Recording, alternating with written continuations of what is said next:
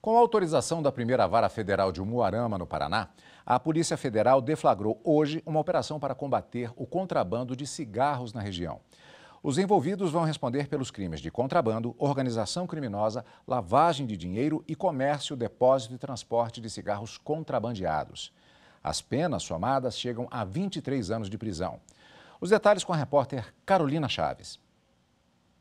Cerca de 100 policiais federais e militares do Paraná cumprem 27 mandados judiciais, sendo 20 de busca e apreensão e 7 de prisão preventiva em cinco cidades do estado.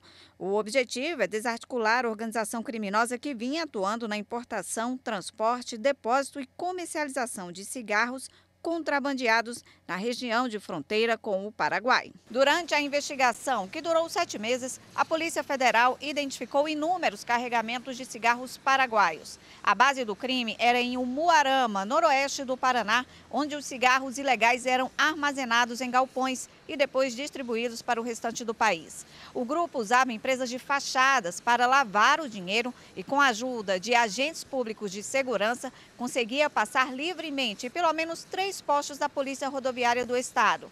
A Justiça determinou o sequestro de bens de 10 investigados e o bloqueio de contas físicas e jurídicas.